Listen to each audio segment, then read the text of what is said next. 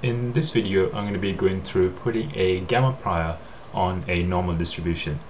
So when I say putting a prior on normal distribution this, this is what I really mean. So let's say I have a random variable called y and given this other random variable and I do mean given I know that this y given z is going to be normally distributed with it doesn't really matter but I'm going to say it's going to be zero mean okay um, actually you know what? I'll change it to the mean mu just just so that it's slightly complicated it. Doesn't really complicate that much but but the variance so this is the important part. The variance is going to be sigma squared on z okay?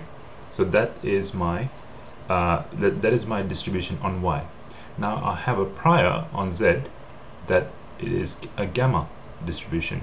So it's a gamma distribution with let's gonna let's put the parameters alpha alpha beta Okay, so um, I'll write out what the prior the the y given z is. Okay, so essentially what we want to get is what is the distribution over y, and to do that, what we're going to do is we're going to integrate over z.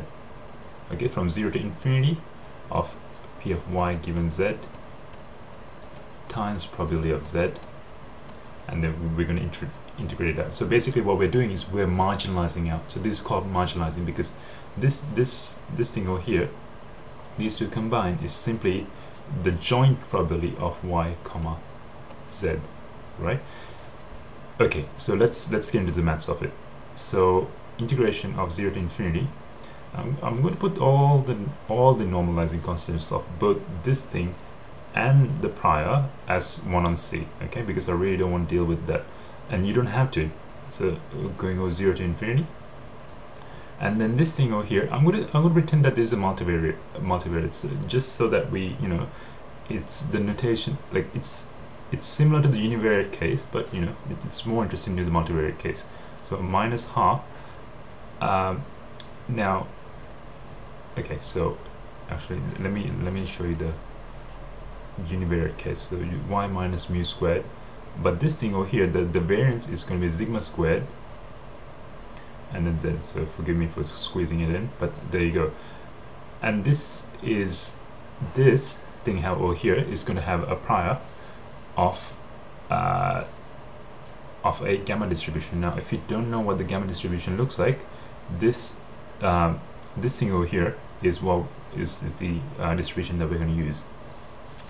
Okay so it goes and again I'm not dealing with any of the uh, any of the normalizing constants because I'm just writing it out over here set to the alpha minus 1 uh, times exponential of minus beta times z dz.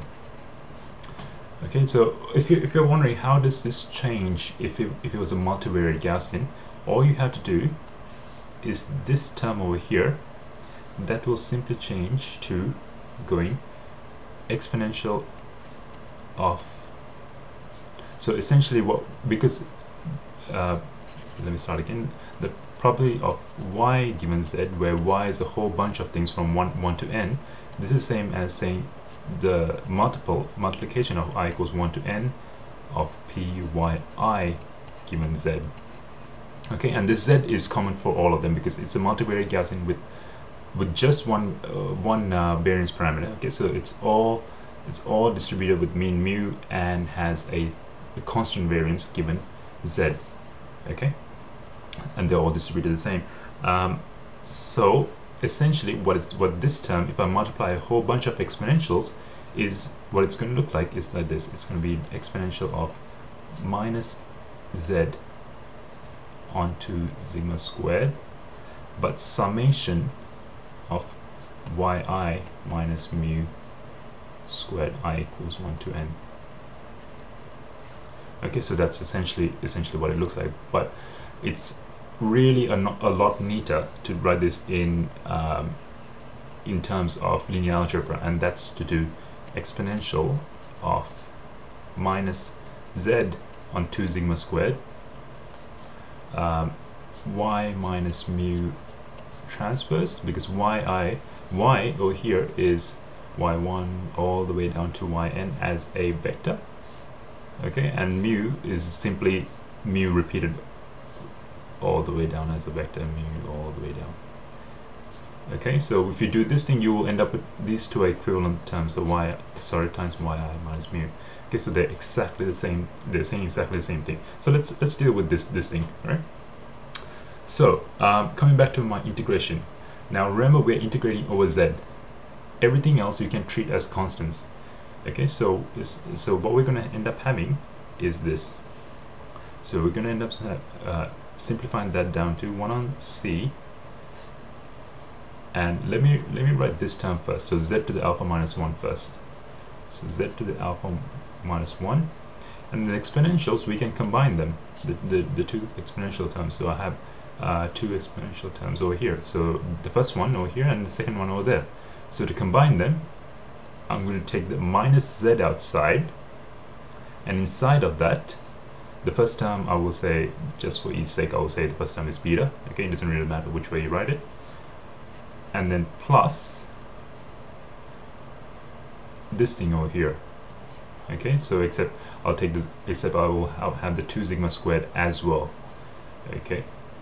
Right so it will end up being y minus mu t times y minus mu all on 2 sigma squared. So again sorry for squeezing that in but we don't have much space. So 0 to infinity. And if you notice uh, this thing over here is is as far as z is concerned that's a constant right? So it, think of that as your new beta star. So if you look at this this is what we call in Bayesian uh, probability. So marginalizing out it's called the kernel. So this thing over here what essentially what we have is z alpha minus 1 times exponential of minus z beta star dz. Okay so this is why we're not going to end up caring about this constant over here. Because if this is a kernel if you look at this as a kernel and we come back to looking at the gamma distribution you can see that that's actually quite similar to what we have over here. Okay so I have a x well they're, they're, talking about x in this case but it's a z alpha to the minus 1 e to the minus beta x right? So that that this thing over here is essentially part like unnormalized and I do mean unnormalized a gamma distribution with alpha with it's sorry not, not, not a gamma function a gamma distribution so I should say GA so it's a gamma distribution with alpha beta. Star but it's unnormalized. So to normalize this and these are these are the only normalizing constants that we're going to actually care about. So uh, coming back to this thing to normalize it we will have to go beta to the alpha divided by gamma to the alpha. 1 on C this is going to be we will have to have introduce a beta to the alpha or beta star to the alpha divided by gamma to the alpha to be able to integrate it out inside here.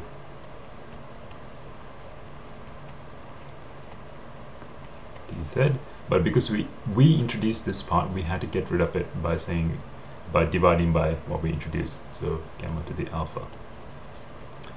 Okay so inside here inside the integration this part will simply integrate out to 1 okay because it's a normalized gamma distribution as soon as we do this.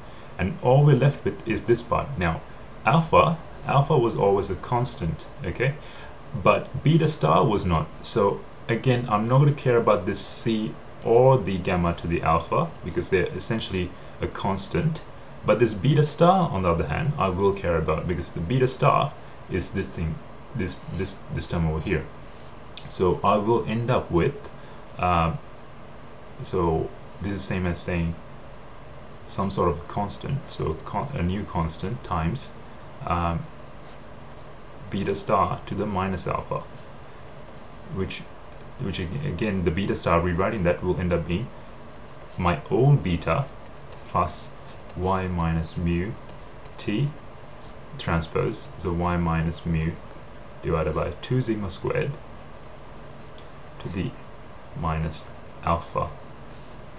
Okay so remember how we talked about kernels? So essentially this so now if you look at the y's we have integrated out all the z's and we have this new constant term.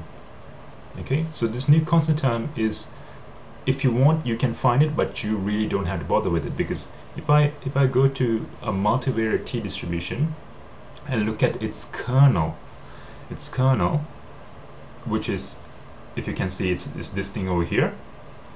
That's ex that's exactly the same as well not exactly the same but it's similar to the, the to the terms that we have.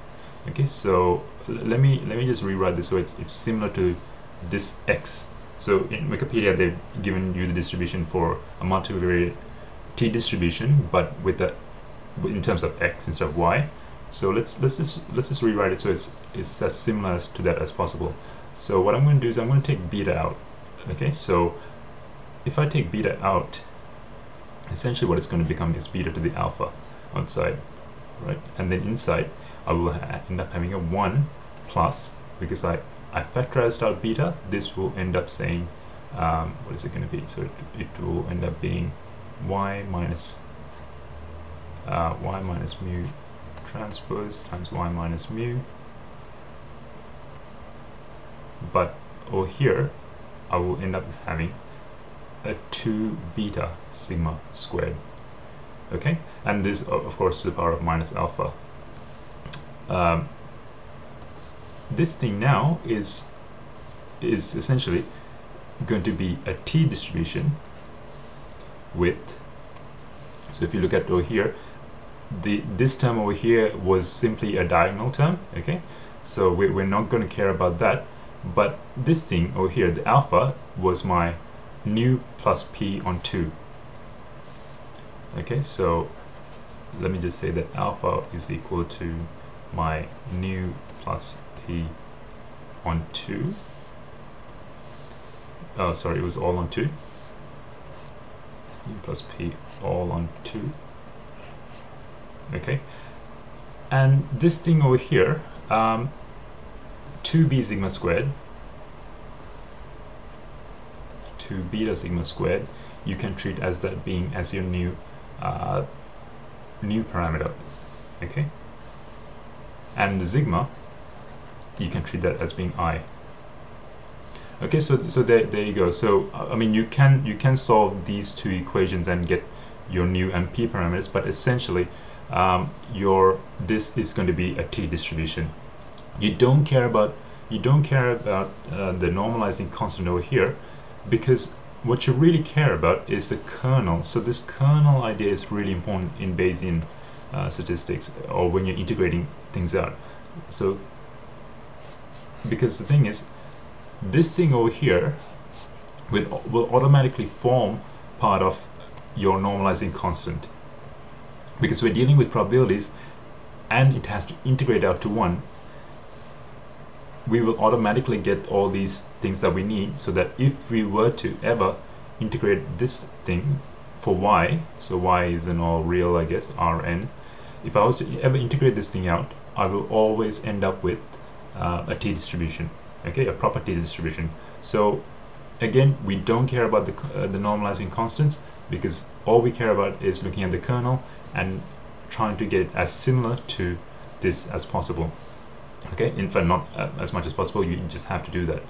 Um, so anyway that's that's all I have for uh, for t uh, normal distributions with gamma priors. So what you will end up with is a t distribution so doing the univariate case should be much more simpler than this.